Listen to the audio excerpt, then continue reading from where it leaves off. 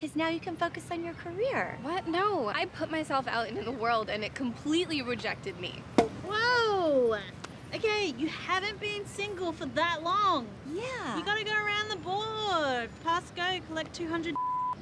Why don't you go to one of those alumni events? An alumni event? You go and you network with people, and if you really love what you do, then it the whole guy thing is easier. No, I don't want to be like you, Meg. I don't want my job to be my entire life. Ooh, okay. Sisters, time out. There are pros and cons to both of you, okay? Pros, young, beautiful. Pros, also beautiful for your age. Rich, doctor, access to pills. Cons, no access to pills.